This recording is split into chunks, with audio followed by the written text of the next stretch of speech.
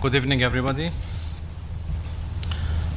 Uh, I just had my lecture, my speech in the Security Council urgent meeting on Gaza. It is almost one year since Israel is conducting its genocidal campaign against the Palestinian nation. More than 200,000 people have been mass murdered, wounded, or buried under the rubble. The entire Gaza Strip has been turned into ashes. The United Nations Security Council has done nothing to stop the carnage. Why? Because the United States and some other Western states have no regard for the lives of the people in our region and for the, and for the peace and stability in the Middle East. Israel has been so emboldened by, by, by the United States support that it is now turning against Lebanon. Just a few hours ago, when criminal Netanyahu was decrying lies and slander and threatening the whole region with more savagery at the United Nations General Assembly, Israel's military launched an unprecedented attack on a residential area in Beirut. Seven buildings were leveled, leveled to the ground.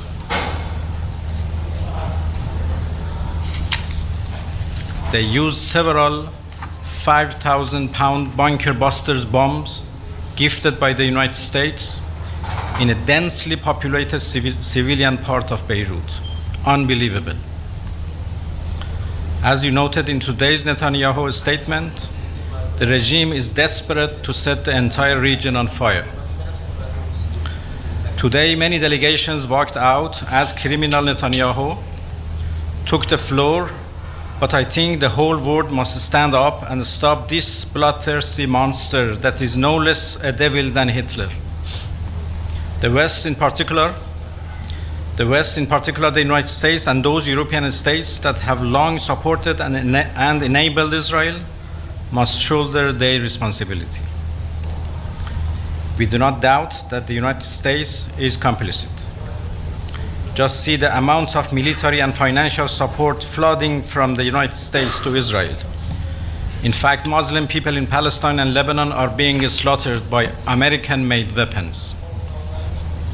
The Council, the Security Council, must act to stop Israel, and the International Court of and, inter, and the International Criminal Court must issue arrest warrants for him and for Netanyahu and his main circles.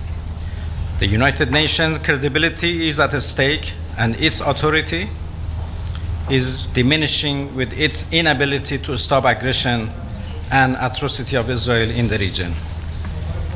We express our sympathy and solidarity with the people of Lebanon. The Islamic Republic of Iran will be on the side of Lebanon and resistance by all means and thank you very much.